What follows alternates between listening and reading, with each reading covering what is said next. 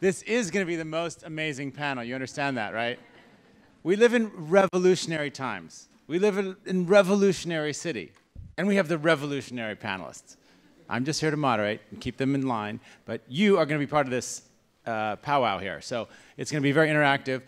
On Slido, for after they do quick introductions, I'd like you to start putting up themes that you want us to riff off of. We have some questions that we prepared uh, on blockchain and cryptocurrencies in general, but you might have some things that we haven't thought of that's highly likely. So keep us honest, keep us focused on what you want to know about. That's the point of this, to get some value to you.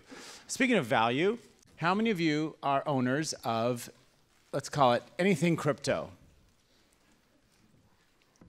Hi, hi, be proud. The FBI is not around here. Don't worry about it. SEC is far, far away. That's how we should keep them, but that's my political persuasion. Um, how about, has anybody participated in doing their own ICO yet? Any entrepreneurs who've done their own? Yes, two, awesome here. And how many have bought ICO as a consumer or investor? Okay, fascinating, fascinating. Your names will all be reported at the end of the day to Washington. All right, um, let's start. Jeff Aru, why don't you start off? Um, so I'm Jeff Stewart, um, sort of a serial entrepreneur, uh, seed stage investor, and uh, started a, a, fin started a series of fintech companies. Um, and uh, I got my first Bitcoin at $11. Uh, unfortunately, I went big in Mount Gox, so uh, it's not as good a story as, as you might like. What and were you buying on Mount Gox, Jeff? Bitcoins. Oh, uh-huh. Um, uh, and then uh, uh, this last summer, although I'd been involved in fintech for a while, this summer um, uh, just was amazed at how fast the ICO marketplace was evolving and went all in 100-hour work weeks, really understanding the whole tokenization, especially as it relates to security tokens and the capital markets. Awesome. Patrick. My name is Patrick Baron. I am CEO of Ambisafe Financial based here in San Francisco. Uh, we have about 100 employees worldwide between our group of companies, and our purpose is to help companies either tokenize their business model or help entrepreneurs through the ICO process. So we help with consulting, uh, making introductions, as well as providing all of the technology needed to uh, facilitate a successful token sale and uh, it's, it's a real pleasure to be here today. Alyse.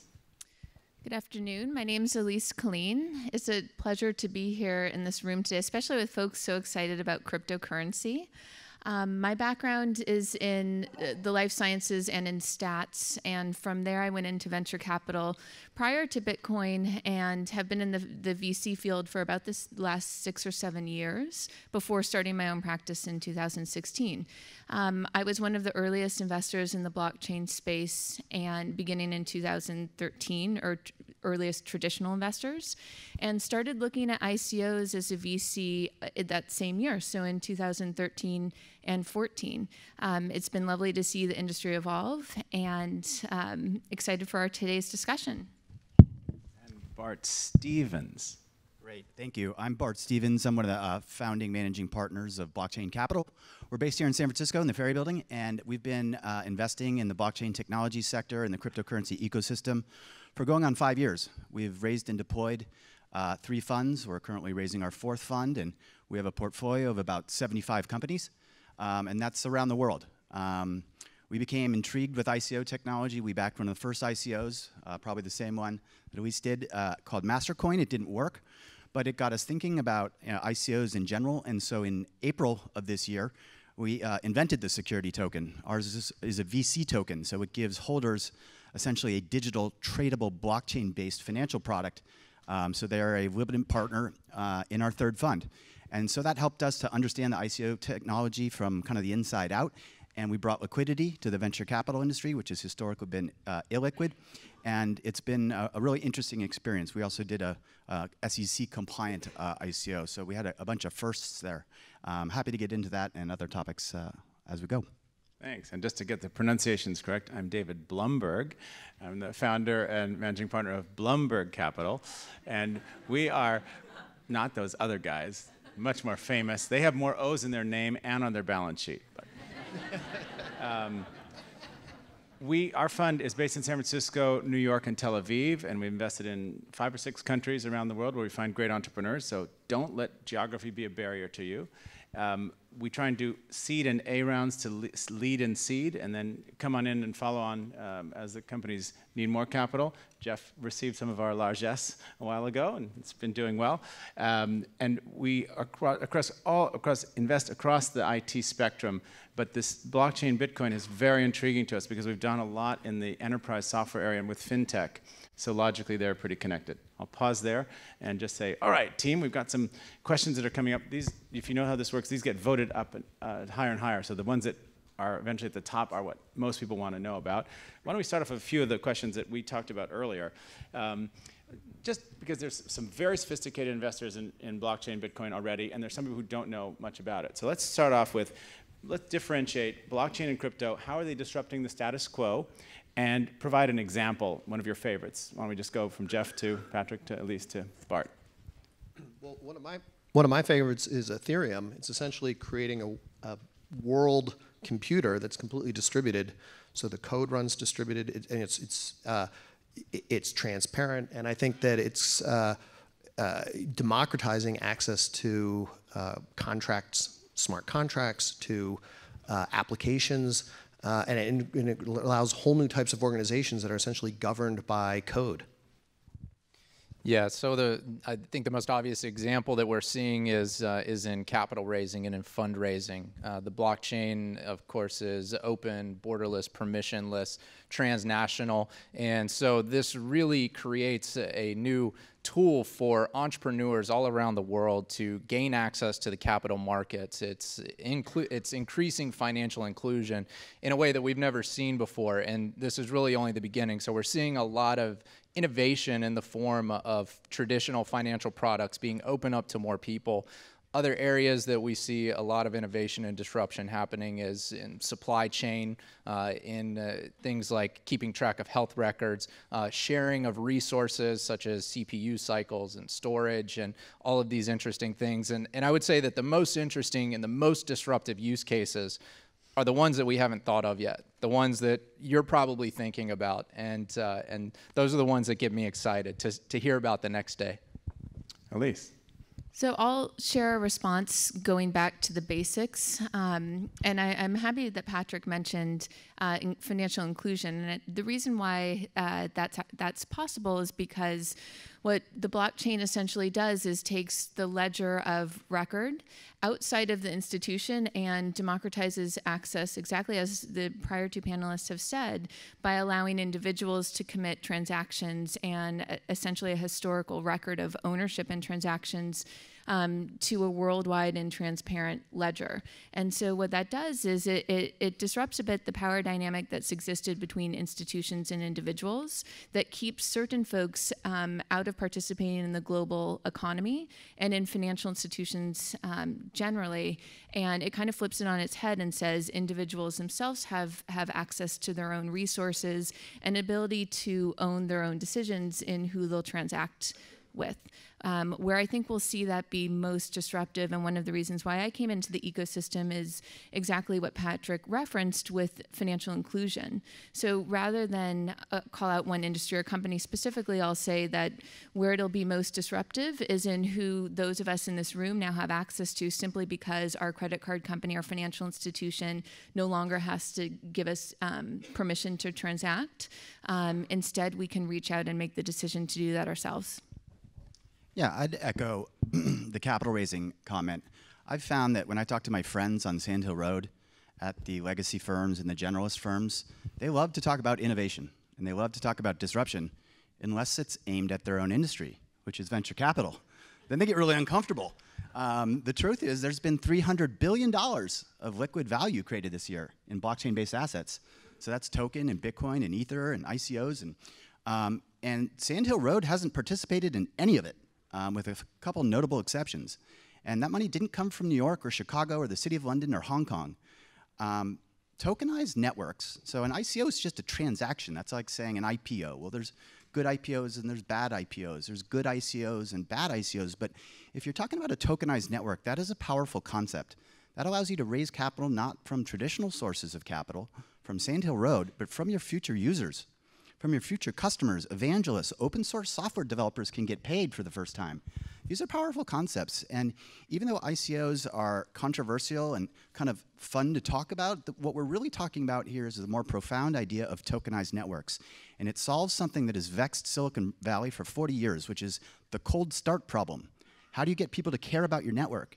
So the person that opened up the first fax machine had a useless piece of technology. There's no one else to fax anything to. And, and network-based models like Facebook or eBay, they sometimes they, ha- they happen organically. But now you can increase the odds of that type of mega boom success by offering a financial incentive, by building your, your network around a tokenized network. And so the business of venture capital itself is being disrupted. And I think it's a big story that's not being told.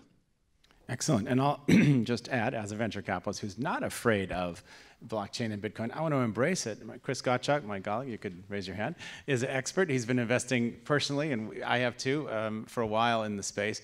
But our firm, it's we're plagued, unfortunately. A lot of venture capital firms cannot invest in non-securities. So these guys pioneered the way forward, I think, and you know, kudos to you. I think you're going to see a lot of venture capital firms in our next funds open ourselves up to more possibilities to be able to invest in some of these new uh, styles. And there may be some new options uh, that, that, Jeff and others are, are going to bring forward that'll maybe even make it easier. But there's a government, there's a uh, industry that's even bigger than venture capital. And I'm noticing here some of the things that are rising on um, Slido. Uh, one of them is the government. And not only the government, governments. And for example, think if you were a person with savings account in Cyprus a couple years ago one night you woke up the morning, you woke up in the morning, and your whole account had been frozen and taken by the government. I don't know why they needed it for taxes or something, but you know you'd be a high, hard-working Cypriot, and all of a sudden your money was just gone or frozen. That's the kind of thing that this technology is going to is coming as a response to, and I think it's going to disrupt governments acting badly, causing inflation, doing junk like that, uh, where they just expropriate. I think that's one of the big end goals here. Um, financial inclusion will mean governments can't take advantage of people as much in the future. Do any of you disagree with that? And then we can move on to the regulation question, which is the biggest piece we have right now in uh, terms of interest. So we'll talk about so regulation. David, I'll agree with you, and then I'll, I'll say this that it, it's important as we move forward to um, rebalance power between individuals and institutions, including governments, um, that we don't replicate those same power structures in our own ecosystem of cryptocurrency and blockchain. Um, so the idea is to make sure that we're focused on self sovereignty and distributed power, and we're, we're conscious of watching where uh, power consolidates or centralizes, which would be essentially a, a replication of a government like institution. So, having to ask permission is something that the blockchain removes, um, hopefully, from the equation going forward. Yeah, and in the governance piece, it really brings into question. There was a question that popped up earlier of what's going to stop governments from outlawing cryptocurrencies, and uh, the answer is nothing. Uh, governments can outlaw things as they see fit.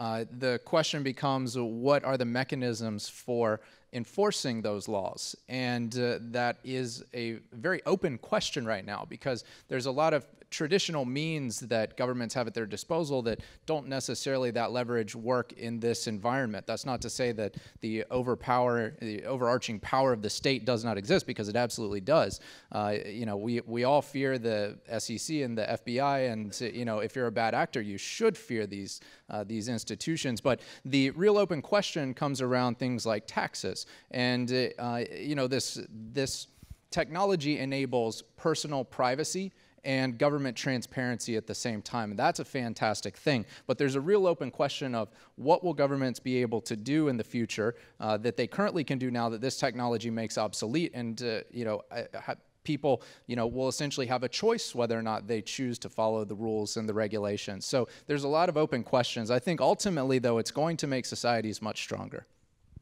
Yeah, I'd, I'd add that um, we've already seen what the so we all use the internet every day. The internet uh, as we know it, is really just the internet of information. And what we've seen in places like the Arab Spring is it, it, it makes it difficult for bad acting governments to fool their populations. It, it, it erodes their democratic um, uh, hegemonic power. you can think of the blockchain as the internet of value, not the internet of information. And so I think we'll see a similar, similar parallel happen where bad actors, um, governments that are doing things like hyperinflation or expropriating bank accounts or devaluing their currency, um, I think blockchain will be a destabilizing event to those types of, uh, of levers. And, and people can vote with their feet, and now they can vote with their, with their digital money. Um, and so, you know, it, this will present challenges to governments, but I think I will take a contrarian opinion that most governments see this as evil. I talk to regulators all the time at the SEC, at the DOJ, at the CFTC, um, and they actually are, are, fairly constructive on this technology. What regulators have a dual mandate. One is to protect the consumers uh, and the system. The other is to be globally competitive. And so if the US, for example, overregulates this industry, the human capital and the financial capital will move to Singapore or it will move to Hong Kong or the city of London or Switzerland. And so the US regulators are, are mindful of these things and, and they're more constructive than you might think. I, I, totally agree. And most of you in this room, are, with a very, very few exceptions, are younger than me. So I'm old enough to, when I was a kid, there was a big um, regulation problem in the bond market in the United States. And we put some very onerous regulations. And the whole industry basically moved to London. And we lost this gigantic thing that's now called Eurobonds and so on. So, you know, shame on us if we regulate ourselves out of out of the game. The head of the Gibraltar Stock Exchange came to visit our office the other day, and he had a really interesting uh, way of thinking about regulation that they're proposing right now. And I'm curious about your regulation, your, your thoughts on it. His stock exchange is going to start regulating um, with a separate but related um, exchange for uh, cryptocurrencies, and they're going to relate on, on principles, not rules. They're going to put forth a bunch of, like, have like, like 11 commandments, and these commandments are honesty, transparency, integrity, I mean, basic high level stuff. But then they let the companies sort of figure it out on their own. But to keep everybody honest, the investment bankers, the brokers, anybody that's involved in this that get fees, get their fees paid in the same cryptocurrency that's being issued. Isn't that interesting? So it really has a, a, a premium on deal with integrity, and they're locked up for, for a period of time. So I'm curious what you think, if you've seen any innovative regulatory models, because most of the regulatory models I see in the United States and Europe don't work very well. They generally get outdated because of technology or social demographic changes. So what do you think about the flexibility that this market will need? So, so I would say that um, you know, it turns out that uh, regulation is good in a lot of cases, and you know, there were some hard lessons. You know, the 33 Act has some, you know, some, some wisdom in it, as examples. And I think that um, uh, the ICO space and cryptocurrency has evolved so quickly that it's had to kind of relearn some of these things. But it, you know, it, it, it, will it will learn them. Um, but you see places like Singapore. You know, they just published a paper last week really articulate in the things they're concerned about and the framework. And uh, I think regulators all over the world can benefit from from seeing how they handled it. Gibraltar is being very progressive. Switzerland is is phenomenal. So I think you'll see. Uh, you know, just as you choose to go to websites uh, on the internet that are of interest to you, you'll choose to do your value transactions in jurisdictions that accommodate you. Yeah, so I, will uh, echo what Bart said around the conversations that I've also had with regulators. The uh, the sentiment is an understanding of the fact that they do not want to stifle entrepreneurship. At the same time, they do have a mandate to protect consumers, and uh, we absolutely need that.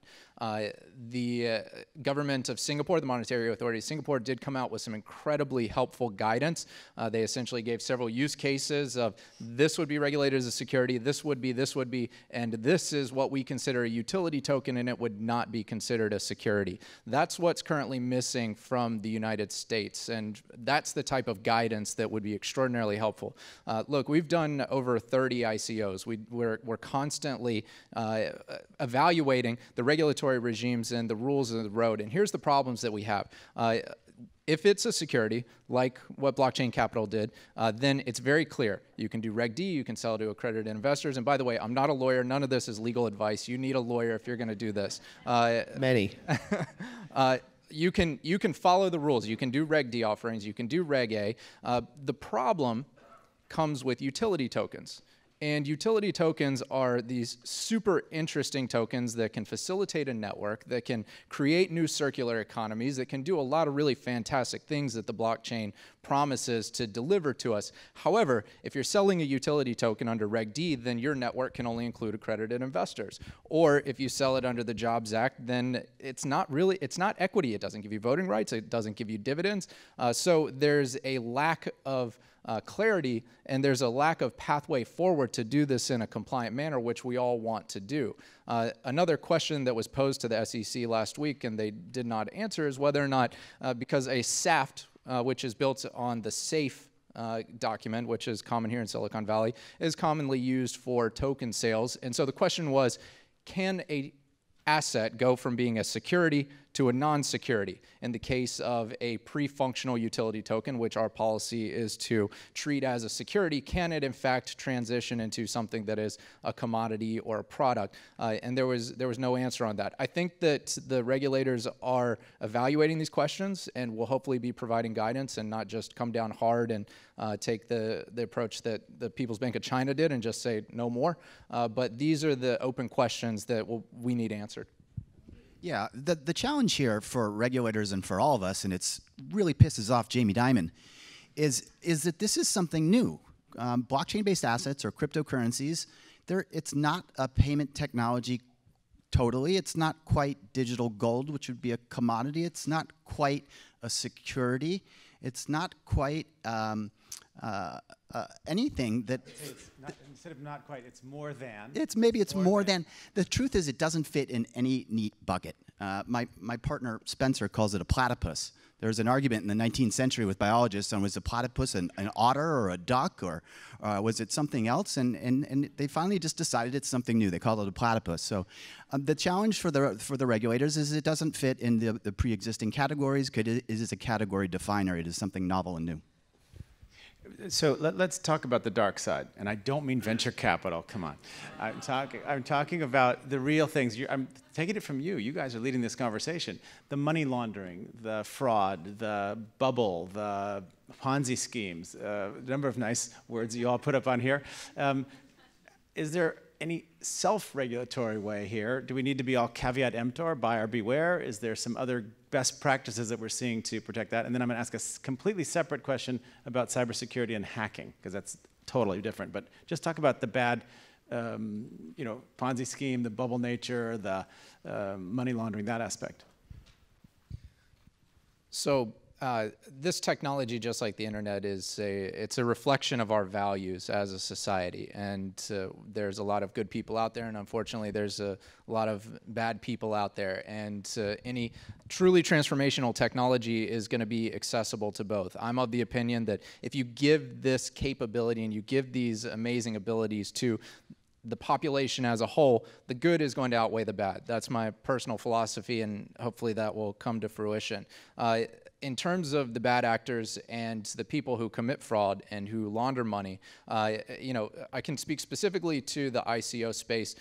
We as a community uh, do want to self-regulate and uh, uh, these conversations are already ongoing of best practices around governance around disclosure around lockup periods around some of these simple things how the money is going to be used uh, and requiring due diligence on all of these things and it's theoretically and hopefully will continue to make it harder for a bad actor to succeed.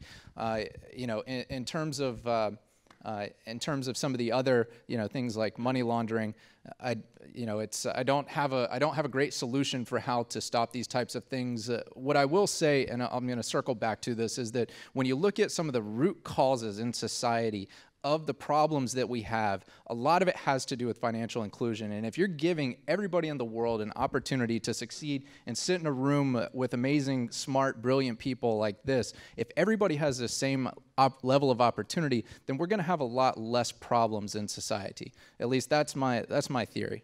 Alyse, anything to add? Sure. So I suppose, of course, um, lower socioeconomic status people are not the folks doing money laundering, right? So right. Um, I guess I'll speak to that as it appears to be a popular topic um, on our on our advisory board. Um, so money laundering, Bitcoin blockchain is a really poor way to launder money. Um, because no one can stop you from buying. You can't be stopped from buying Bitcoin. You can't be stopped from sending a transaction. But once you've sent that transaction or made a purchase, it's committed to a permanent record. And so, if you're doing an, um, an illegal activity, of course, you'd you'd want to not have that committed to a transparent and permanent record. So, Bitcoin blockchain would not be for you. I think if you're if you're planning to launder money, what's been really interesting is that I've seen industries um, that frankly are used to launder money um, being kind of quick to realize that blockchain technology is going to be something that's disruptive to their their practice of laundering money and wanting to institute proactively their own kind of closed and private blockchains to to protect their business um, or to protect their practice um, against disruption by public blockchains. So perhaps this is a way to push back against these type of activities by having activity uh, by having financial transactions on a public ledger of record. Can you name the industries where you've seen this go on I, a lot? I shouldn't, I suppose. Name the industries. I think you should, not the companies. I'll, I'll, I'll, skip that. All right. Um, but I, am sure that. give you value for your hard-earned money here. the crowd wants to know, right? You want to know? I'll take the I'll take the bubble one. Um, so if you're in the blockchain technology industry or you're involved in Bitcoin, you get asked this question a lot. Um, and so I've had to go and do research on bubbles and all the way back to tulips and the South Sea India Company and the, the dot-com 1.0 bubble all the way up to the 2008 financial crisis. And what you see is a bunch of commonalities. Number one, you see the presence of levered financial incumbents. So the big money guys lever up and they cause problems. It's like we saw that in 2008 in a galactic way. Um, and, and what you don't see in this industry is the usual suspects. So we went out and did a survey. We talked to 2,500 Americans, and I've been going around the world talking to banks and financial institutions and raising capital for our funds and uh, hedge funds and billionaires and family offices, and I can tell you that none of the usual suspects are along this stuff. So if it is a bubble, it is unlike other bubbles in that the traditional financial players are not involved. This would be the first bubble in history where essentially it is totally retail driven and banks and institutions and financial firms essentially do not have a position. And so perhaps it's a bubble. It's hard to predict asset prices, but if so, it would be a new type of bubble. And what we also found out in our survey is that this is a kind of a generational movement. We went out and we found out that we asked all these millennials, people that were actually 18 to 35, and then even going up to people in their 40s, and, and we found some interesting results. It turns out that if you talk to millennials, one in three millennials would rather own Bitcoin than a government bond, stocks, um, or a commodity like gold, or even real estate. Um, we thought that was fascinating, and and and so what we think is happening here is it's the emergence of a new asset class and it's not held by the traditional holders of, of traditional assets. And we also ask these younger people, um, why do you like this stuff? And what institutions you, are you more inclined to believe, or what, what financial um, methods? And, and when you, if you ask them, do you trust JP Morgan or Bank of America or Goldman Sachs versus Bitcoin, like 40% of them trust this globalized network of computers called the blockchain and the asset that sits on top uh, called Bitcoin compared to the largest financial institutions in this country. So our conclusion is that young people are interested in this new technology. They think it is outside the system, and they don't trust the traditional system. This is a protest vote of sorts. Cool. If I can just add on that, Quick. I completely agree. I want to point out that most people are young. You know, the U.S. is older population, Europe's older population, but you know, 50% of the population of India is under 25 and and most of the wealth creation, most of the people are outside the U.S. And, and, and, you know that's one of the reasons that this will be a bubble. We're not in a bubble yet. There's two types of bubbles. There's asset bubbles and there's technology bubbles. And this is we're scratching the surface. There's no institutional investors. There's no leverage. There's very few retail. And it's the whole asset class, and it is an asset class, is like $300 billion. That's a pimple. You know, private equity is 2 trillion. Marketable securities is 100 trillion as some of those traditional sources start to move into this asset class, there will be a bubble. It will bring down countries. But we're, we're so early. It's like 1993. Okay. The internet. The, the, the crowd wants us to talk about deploying capital. I still have this question on the table, though, about cybersecurity. Some of you have heard of Tether. There was a big famous attack there. The DAO. There were other ones, not D-O-W, D-A-O, um, and there were others. Um, anybody want to hold forth on cybersecurity related to this world? People steal stuff from traditional financial institutions every day. It just doesn't get reported. Um, what we see in the blockchain technology sector is people are not hacking the base protocol. They're stealing assets or Bitcoin or Ether or tokens from a centralized custodian. So that is a crime, and bank robberies happen across the country and around the world every day. So that would kind of be the analogy. But we haven't seen hacking at the protocol level.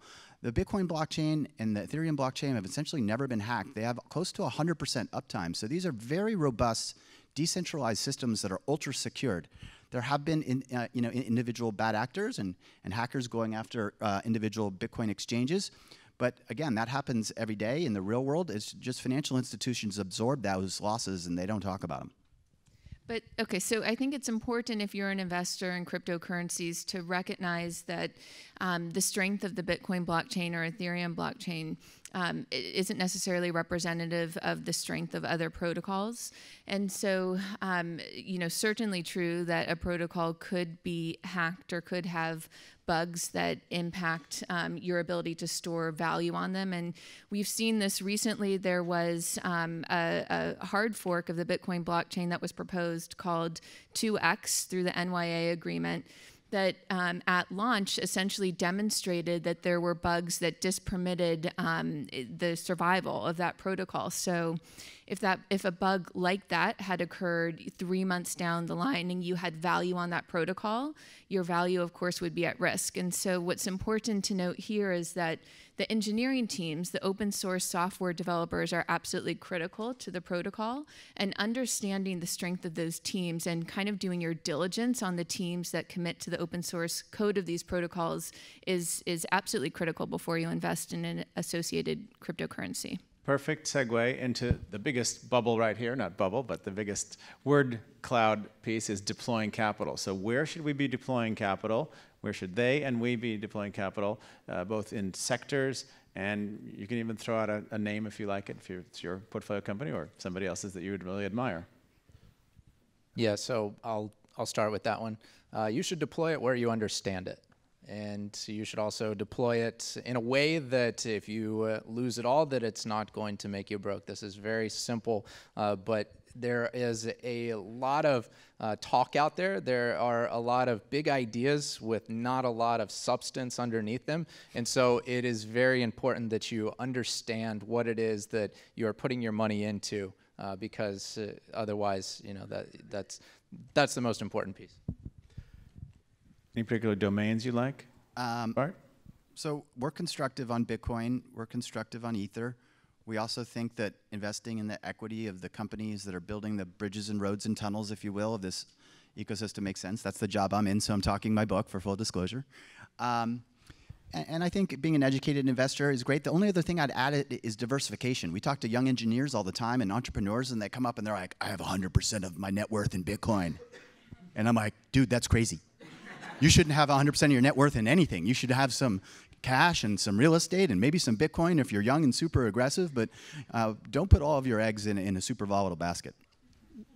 Yeah, and I, I would say um, you know, take an evening, don't go out to dinner, take that $100 and go like buy some cryptocurrency, put it on your, your, you know, your UBS drive, you know, buy an ICO, just like move the hundred dollars around and try to understand it. Uh, you're going to lose it. You're going to make a mistake because we're still like at the DOS prompt. It's this stuff is so hard still, but you'll you start to think like, wow, if I can do this, then you could do that, and you realize how big this is. And I would say just start there. Like you know, buy one less round of drinks next time you go out and blow it all on cryptocurrency, and you'll learn a ton. And, and if you put it on a thumb drive and you have children, do not put the two in the same place because your Bitcoin millions may go off into some, you know, mud pile somewhere. teachable moment. Yes. Okay. Uh, I think we have like a minute left. Let's take maybe one question from out, out in the ether. This ether. Anybody want to ask a question? Just raise your hand and you can shout. No brave questioners? All right, then we'll just be brave. Oh, here's a gentleman. Yes, you got a prize.